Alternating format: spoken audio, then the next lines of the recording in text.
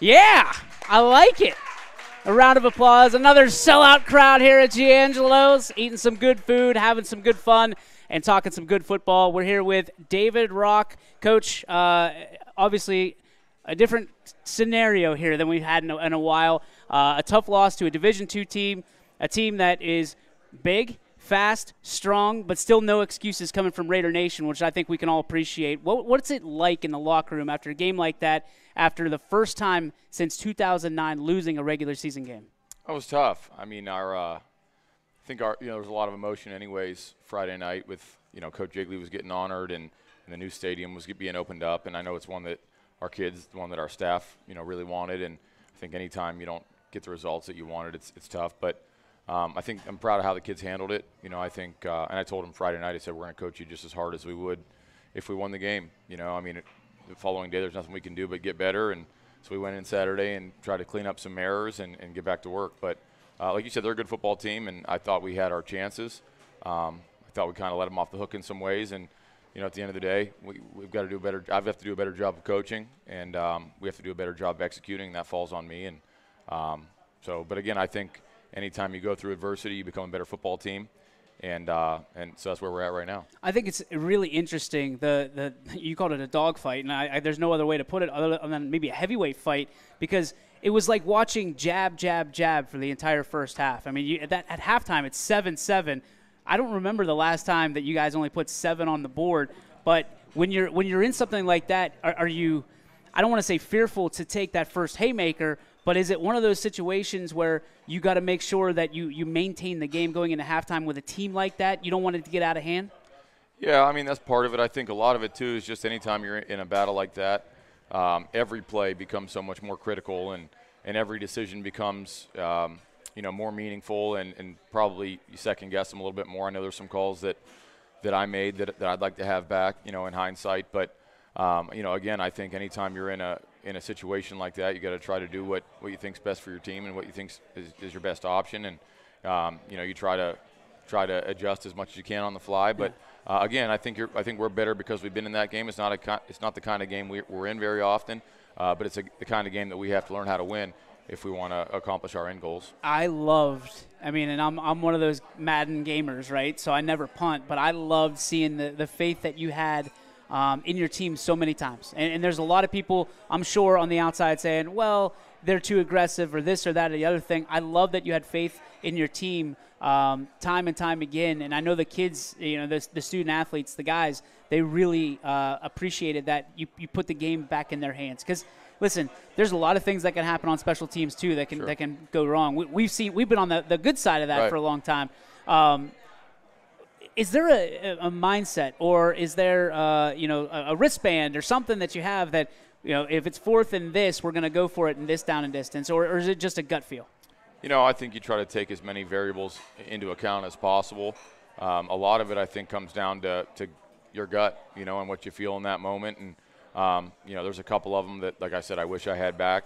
Um, you know at the end of the day i feel like I, I, trust our guys and i trust that when we need a yard we can get a yard and um, you know credit credit to Green. I thought they did a really good job um, of taking away some stuff and some critical downs. And uh, and like I said, there was a couple couple decisions that I made that, looking back, um, you know, again, I, I, wish I had back, but you know, I have a ton of belief in our guys. And, and like you said, I mean, I think, you know, a lot of times you're trying to assess risk and, and, and see what the trade-off is and what the risk versus reward is, and you try to do the best you can.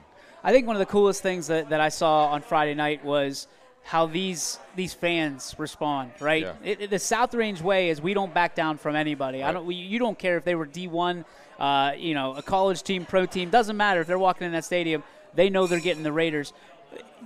I know that when we talk to Coach Yeagley, when we talk to a lot of these coaches, the the players embody the coach, and I love that these guys have no fear because of their fearless leader. Is that something that you you appreciate the guys taking on? Because listen, no matter what, nobody backed down on Friday night. You guys played until the last whistle, yeah. uh, and, and, nobody threw the white flag.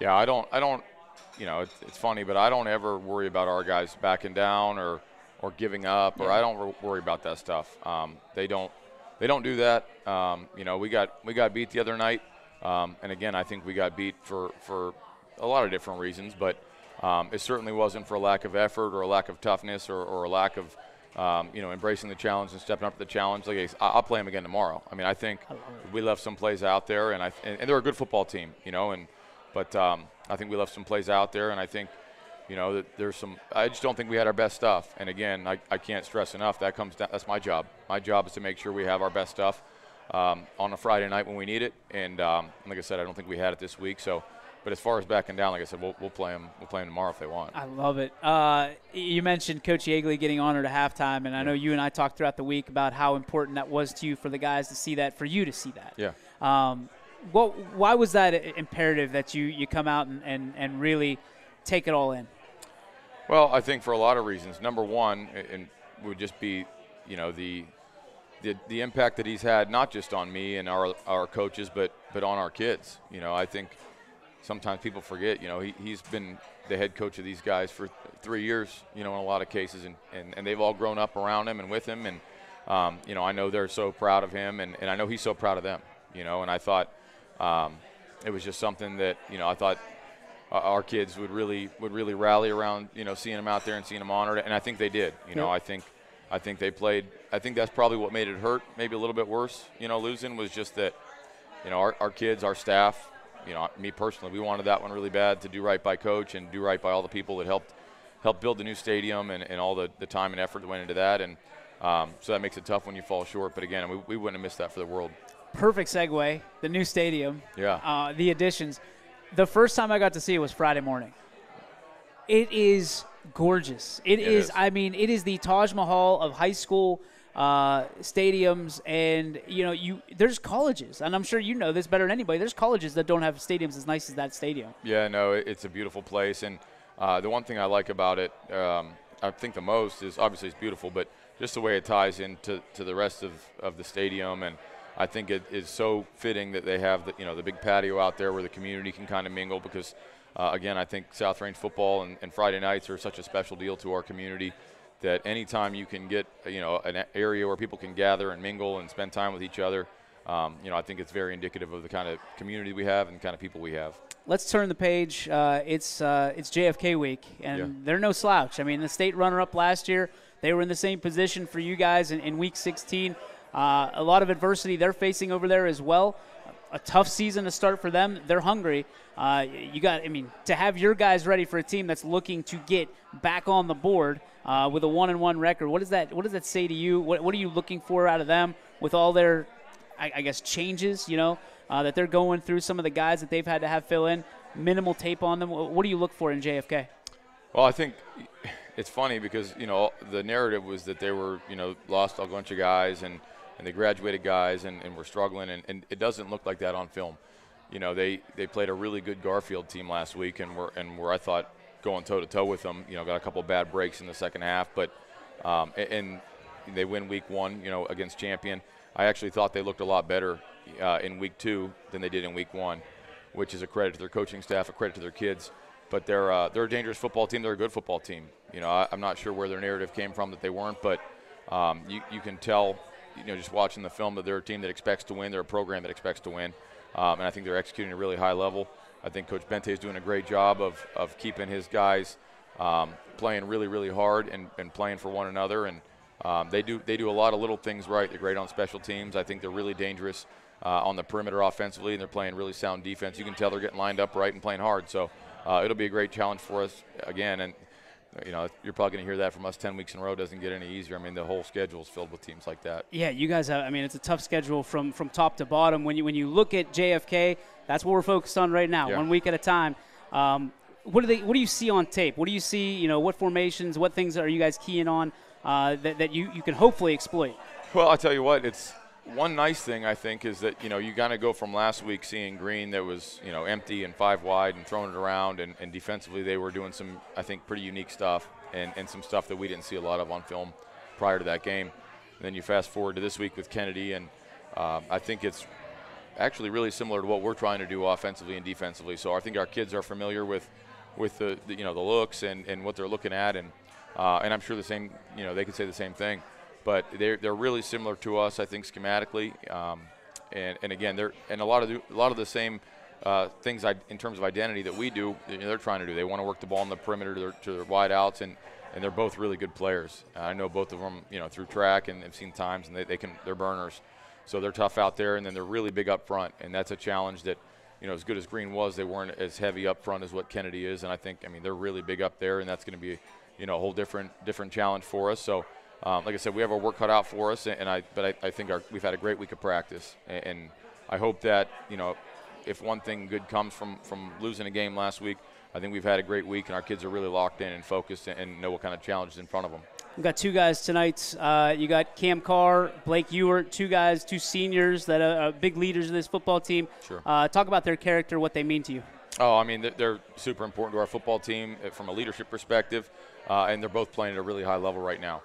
Um, you know, obviously, Blake, you know, got a t- was was the bell cow last year and got a ton of time, and um, and he's picked up right where he left off. I think He's worked really hard in the offseason uh, to develop himself physically uh, and mentally. And, and he's, you know, I'm sure you know this by now, but he's a quiet, quiet kid. A little bit. Um, but he's done an unbelievable job of leading us by example and just doing the right things. And then you look at Cam, uh, and, and Cam really was, I think, unknown to a lot of people going into this year just because he was behind two really good seniors last year um, at tackle. But he's done a great job for us. I think uh, I could make a very strong argument that he's been our, uh, our most improved offensive player over the past you know two months and th- throughout camp. So feel really excited about about the opportunity that he's made for himself and, and, and just the way he's playing. So when you think about the the season ahead, you guys have seven, well now eight weeks, right? Uh, if you include JFK. When you look at that, what's the outlook, right? What's the bounce back factor now? Does does a loss make you hungrier? Does it change anything? Does it change any mentalities? Does it does it fire you up a little bit more more than a, a win over Green would have, or is it is it same old same old? Let's keep down the path. Yes and no. I, I don't think we're any more pumped up now that we lost. I mean, we, you know, we, I, I think to our kids and to our coaches' credit, we're going out and trying to play our very best football. You know, Monday through Thursday of every week, and then again on every Friday. So, I mean, I don't think so from that perspective, but I will say that there's an opportunity. I think maybe a bigger opportunity when you lose to take take a hard look at some things and, and try to assess. Um, you know, are we doing this the right way, or are there things that we can do better? And and I think it's a lot easier to make changes and to make adjustments and, and to improve um, after a loss um, versus when you're winning and having success. Sometimes it's hard to change things when you're winning, and so um, I think last week's going to help us in the long run. I think we're already a better football team because of some of the changes, some of the fixes, some of the you know attention to detail stuff that we've improved upon. All right, last question for you. We got to take it off the field. Uh, you and I growing up in the same generation, wrestling. We loved wrestling growing up. Yeah. I asked I asked this question to TJ Parker last week. Got to ask you the same question. Who was your favorite professional wrestler growing up in the Rach household? Wow. Um, you most people would probably think The Rock, but I, I was uh, I was a Stone Cold guy. Were you? Yeah, I was. We were WWF, I think it yep. was back then. So me and my brothers used to watch uh, Monday Monday Night Raw, and I was yep. I was a big Stone Cold guy, so I'd say Stone Cold. I love it. All right, so on the flip side of that, we got to ask, kind of localize it. If you were going in the steel cage with one coach, who would you want to go into with and, come out with a victory? Oh, uh, on my team, you mean? On your team. I'd have to I'd have to go with Coach Doc.